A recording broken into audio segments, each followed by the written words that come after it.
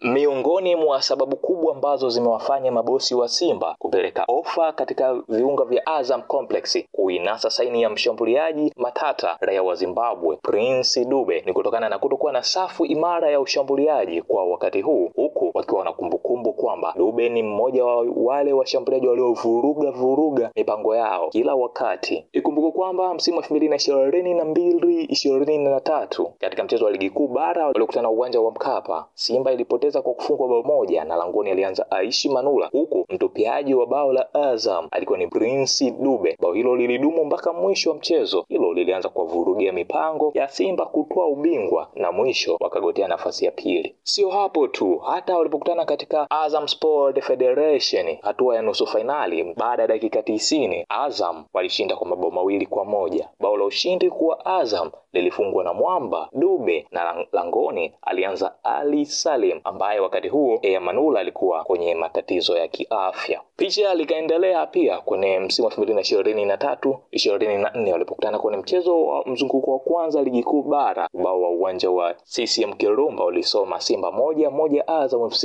Ni yule yule tena Dube, safari hii alimtungua mwamba kabisa wa kumwita Ayubu Lakred ambaye alianza langoni kwa upande wa Simba, jambo ambalo ikawafanya mabosi kufikiria kuipata saini yake kuongeza nguvu katika kikosi hicho, na ikiwa wataipata saini ya mwamba huyo Dube, huenda Fredi Michael funga funga akapewa mkono wa asante pamoja na wachezaji wengine ambao wamekuwa wakisuasua kwenye safu ya ushambuliaji ndani ya kikosi cha Simba. Azam FC wamethibitisha kwamba wamepokea ofa hiyo kutoka kwa Simba pamoja na klabu ya Al Hilal ya Sudani ambazo zinahitaji saini ya nyota huyo ambaye ameomba kuvunja mkataba wake ambapo inachotakiwa ni dola za Kimarekani laki tatu zaidi ya milioni mia saba za Kitanzania kuwekwa mezani ili kuipata saini yake. Tusubiri na tuone, chochote kinaweza kikatokea. Simba wataipata saini yake, wataweka hizo dolari ama Al Hilal ya Sudani. Naitwa Lunyomadi Zomliuka, a boy from Jobe place to be.